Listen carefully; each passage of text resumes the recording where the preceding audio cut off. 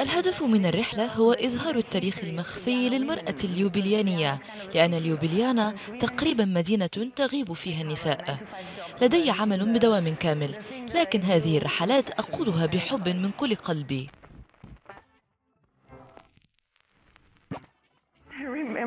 أتذكر عندما أخبرت أمي عن الفكرة وكانت وقتها معلمة تاريخ لأكثر من 35 عاما. وعندما عرفت بها كانت متحمسة جدا وعلى الفور بدأت تقترح لي أسماء يمكنك أن تضمي هذه وتلك.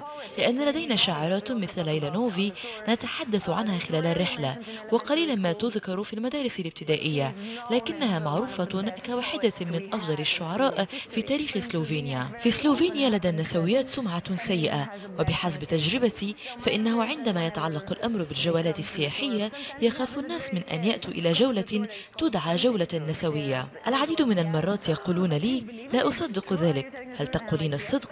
وأنا أقول نعم. ما يستطيع الشخص رؤيته في جولة سياحية هو تماثيل وآثار وأبنية. ومع ذلك فمن المثير جدا عندما أقول تماثيل وآثار لأنه في الواقع يوجد نقص حاد في التماثيل التذكارية التي خصصت للمرأة في تاريخ اليوبليانا لن أقول أرقاما. لأن ذلك سر. عليكم أن تأتوا لتروا. لكنه رقم مثير للسخرية من صغري. في جولتنا نذكر سياسيات وفنانات ومعماريات وعالمات وناشطات اجتماعية وموسيقيات أو نساء تظاهرن ضد الفاشية في الحرب العالمية الثانية. وهذه هي القصص التي شكلت مجتمعنا الحالي. وفي الوقت نفسه هؤلاء هن النساء اللواتي لا معنى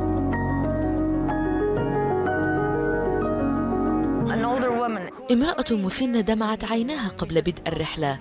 قالت أنها تأثرت بأن هذا يحدث لأنه مهم جدا لها فأمها كانت في جيش المقاومة. أعتقد أن أجمل الأشياء التي تحدث عندما يقول للسياح أنهم لن ينظروا إلى اليوبليانا بنفس الطريقة التي كانوا يرونها من قبل.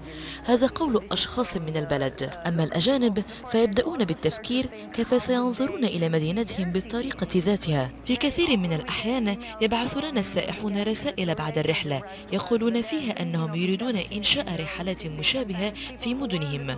أحيانا أقابل أشخاصا قاموا بالرحلة معا بعد أسابيع أو أشهر فيتذكروني ويشكرونني ويقولون لي كيف تحدثوا عن الرحلة ومنهم من يعود للقيام بها. الجدات يجلبن حفيدتهن إليها لأنهم تأثرن بالرحلة وأعتقد أن هذا هو المهم بالأمر والذي قد يصنع فارقا.